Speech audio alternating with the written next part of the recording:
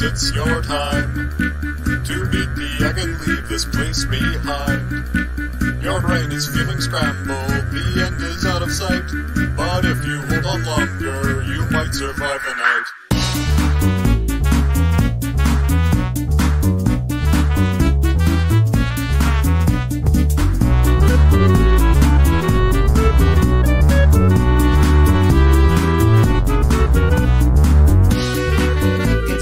It's Funky funky.